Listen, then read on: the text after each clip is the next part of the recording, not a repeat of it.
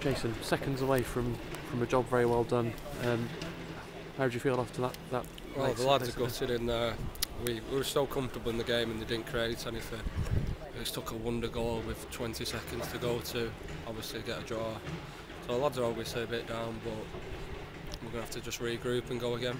Yeah, you, on Saturday you played very well, but ended up having to defend at the end, and you know a bit of a nerve at the end. And today, you probably do you feel like you should have maybe scored a couple more before, so it wasn't you We weren't hanging we- on at the end. Uh, there's a couple of errors before the goal where we should have seen the game out and been more professional, but obviously these, these errors have cost us and obviously we conceded right at the death.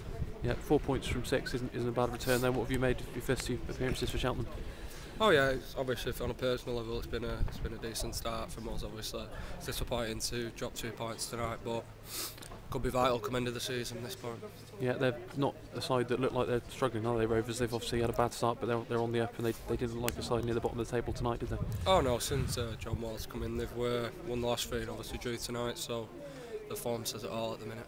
Yeah, what's it like playing in there, in there with Russ, uh, Russ Penn the last couple of games? Yeah, it's been good. I feel like we're getting a good uh, understanding, and hopefully things can only get better between us. Yeah, the manager said he was lost for words after what happened at the end, and he said you might need to lift him up a bit because obviously he, he was he thought you were on course to get the three points. So what, what was it like in the dressing room after the game? Felt like a defeat, but obviously we'll pick ourselves up. We're disappointed now. We'll just have to go again Thursday and uh, hopefully go to Dagenham and get the win. Yeah, what, what's it like in there in terms of the new players coming in? Has everyone everyone settled in quickly and? and To be fair, the, the lads, all the lads that were there welcomed all the new lads in. So, from my point of view, it's been I've settled in nice and easy, and I think all the other lads have too.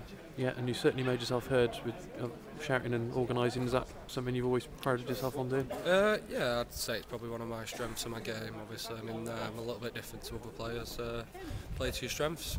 Yeah, two difficult away games now, long trips, and um, both over towards the other side of London. But is that what, you, what sort of games that you look forward to playing in?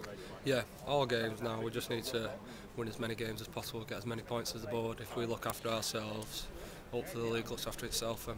Yeah, what, what do you think of the main positives from tonight? Even though you're disappointed about what happened right at the end. We've defended very well tonight.